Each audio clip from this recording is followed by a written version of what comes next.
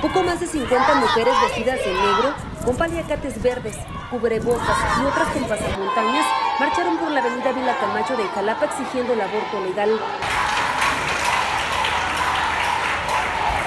Consignas como el aborto será ley, si no brinca ser espoli, justicia por las mujeres que han sido violadas, gobierno opresor, entre otras, decenas de féminas se unieron a la protesta nacional del movimiento Marea Verde en la capital del estado de Veracruz. Poco antes de la marcha, un grupo de 20 encapuchadas con martillos, bates y varillas arribaron al viaducto de la capital para realizar una serie de pintas en las paredes.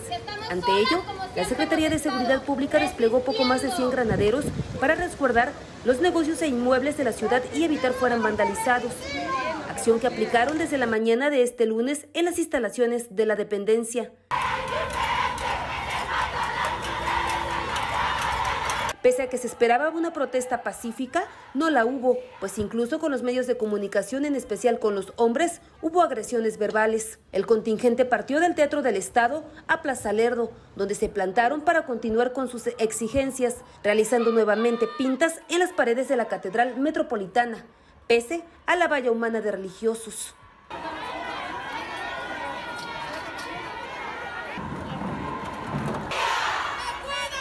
Con imágenes de Irving Mavin, Sara Landa, Mega Noticias.